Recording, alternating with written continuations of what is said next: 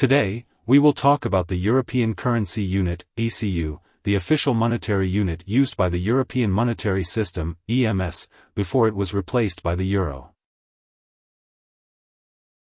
The European Currency Unit was the official monetary unit of the European Monetary System, EMS, before it was replaced by the euro. The value of the ECU was used to determine the exchange rates and reserves among the members of the EMS, but it was always an accounting unit rather than a real currency. The European Currency Unit was introduced on March 13, 1979, along with the Exchange Rate Mechanism, ERM, which was designed to reduce exchange rate variability and achieve monetary stability in Europe prior to the introduction of the euro, at parity, on January 1, 1999. The ECU replaced the European Unit of Account in 1979. The ERM was meant to limit fluctuations between ECU currencies. The ECU was used in various international financial transactions, allowing ECU-denominated securities to offer foreign diversification.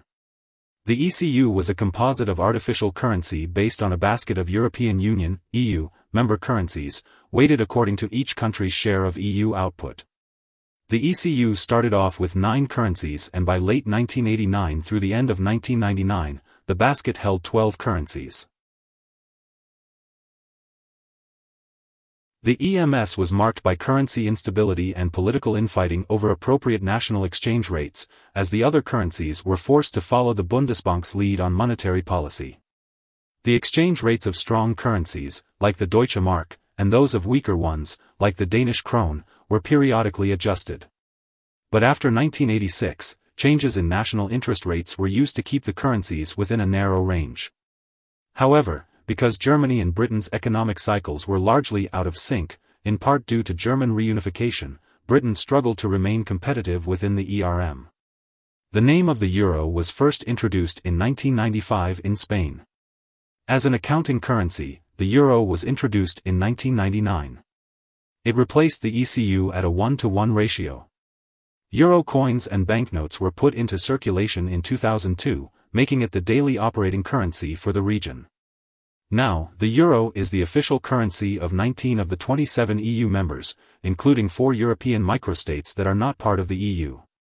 The euro is the second largest and second most traded currency in the world, behind the US dollar. Here are four key takeaways. 1. The European Currency Unit, ECU, was the monetary unit used by the European Monetary System, EMS, before being replaced by the euro.